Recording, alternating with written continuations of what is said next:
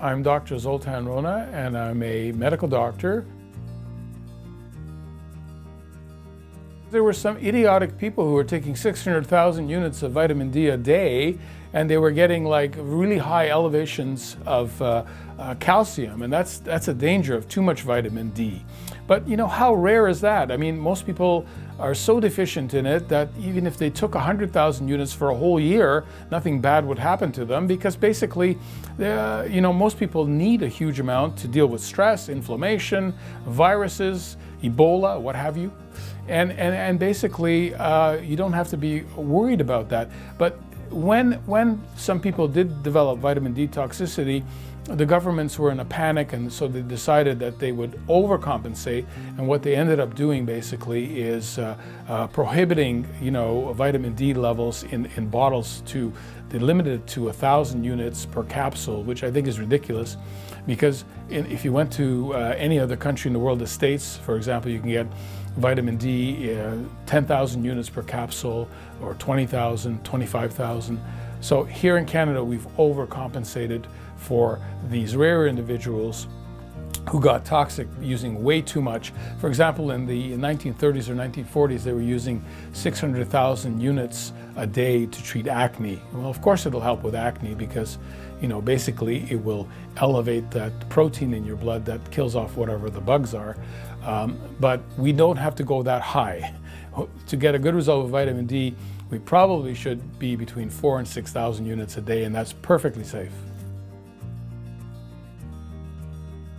Well, vitamin D, one of the most interesting things about vitamin D is that the more you take of it, the more your body will manufacture a protein called cathelicidin. Now, cathelicidin is very interesting because it has natural antibiotic properties. It can help the body kill viruses, parasites, bacteria, and fungi. The higher that level of cathelicidin is, the more likely it is to do that. So that's why I'm telling people take more vitamin D and you really don't need that stupid flu shot because the flu shot is loaded with mercury, formaldehyde, and all kinds of toxins. And if I had a dime for every patient that told me that they got the flu or a cold or some kind of infection after they got the flu shot, I'd be a millionaire. Well, I wrote, my, I wrote that book uh, at the request of uh, my publisher. I, I didn't have much of an interest in vitamin D when I was writing the book, but when I was doing a lot of the research, I was amazed to see all of the things that it could do if you get the levels high enough in your bloodstream.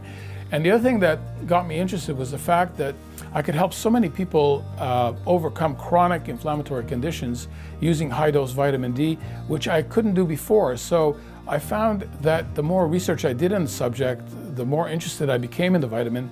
And uh, now I'm a real advocate or promoter of using vitamin D. Did you know that vitamin D, if it was adequate in your system, could help uh, prevent or can help save the government $25 billion a year in healthcare expenses because we'd be able to prevent all these inflammatory conditions uh, including cancer. We reduce the risk of cancer, particularly breast cancer and prostate cancer, tremendously by using that. So we would save uh, the healthcare system over $25 billion a year.